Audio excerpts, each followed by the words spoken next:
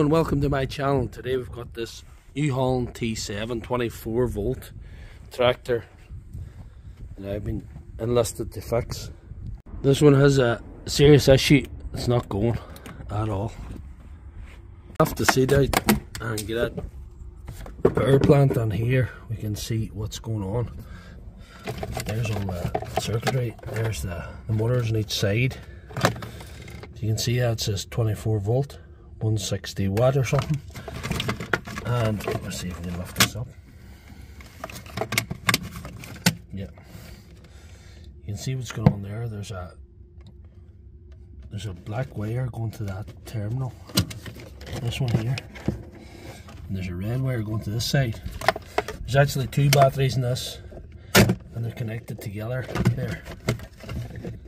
See the white wires connecting the two of them together. Two 12 volts I would say connecting together and giving this giving this thing no power at all. There's just nothing coming out of them batteries. My solution would be to convert it to DeWalt batteries. As I say, it's the, the plan is to convert the little 24 volt New Holland to DeWalt batteries.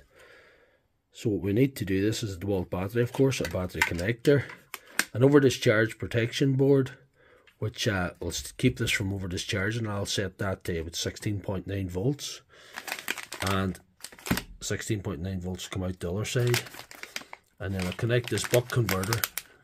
So that converter anything between 12 and 20 volts can go onto it and 24 comes out the other end.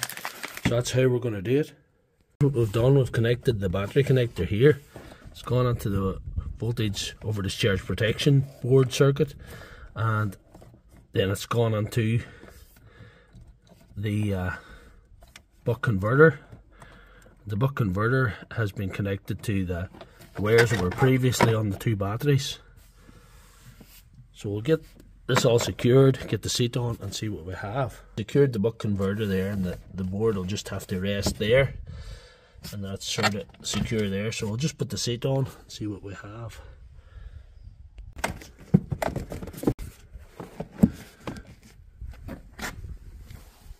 Right, that's the seat on now. Let's see what we can do. We'll put the battery in and see what we got.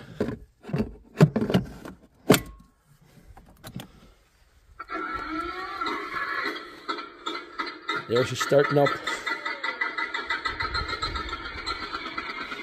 That's amazing there. Let's go here now.